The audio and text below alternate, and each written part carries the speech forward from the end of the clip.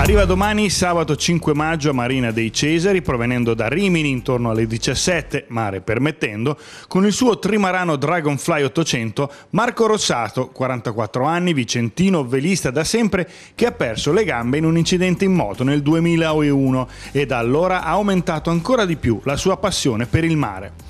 Sta facendo il Giro d'Italia in solitaria, è partito da Venezia il 22 aprile e arriverà a Genova in settembre con 63 tappe in altrettanti marina, unico compagno e marinaio in seconda, il fedele cagnolino Matley. Obiettivo far conoscere a tutti il suo progetto Tri Sail for All, dove Tri sta per Trimarano ma anche per Tricolore, promosso dall'associazione sportiva dilettantistica I Timonieri Sbandati, di cui Rosato è cofondatore e promuovere l'idea che si possono raggiungere grandi mete anche se si ha una disabilità, che non ci sono limiti in mare se si è professionisti, prudenti e attrezzati, mentre a terra ci vuole qualcuno che si preoccupi di eliminare i limiti che non è giusto negare ai disabili la patente nautica o renderla un'impresa quasi impossibile come oggi è in Italia. Nel suo giro dello stivale Marco verificherà anche l'accessibilità dei porti italiani verso i disabili e ne farà una mappa condivisibile su app